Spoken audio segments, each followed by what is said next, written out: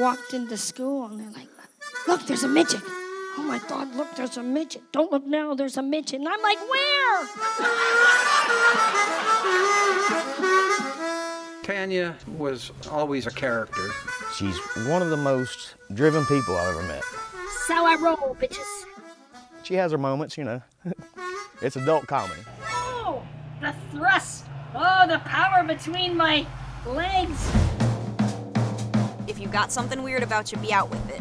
I have a form of dwarfism called diastrophic dysplasia. Being that I'm three foot three inches tall, I hang out around a lot of assholes. It's a dog sweat. Who's Tanya Lee? I'll tell you who Tanya Lee is. Well educated. She's uh, been a joy to be around her entire life, uh, with a few exceptions. And that's when my ass exploded.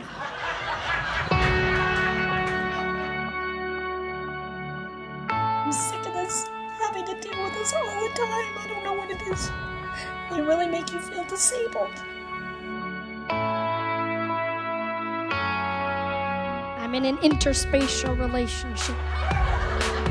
My body's falling apart, but I'm in it until I'm not. Burn! Can't compute, can't compute. My entire life, I've grown up being an unstoppable me. That was the mindset I had. You can't make excuses for what you can't do. Focus on what you can do, and I am living proof.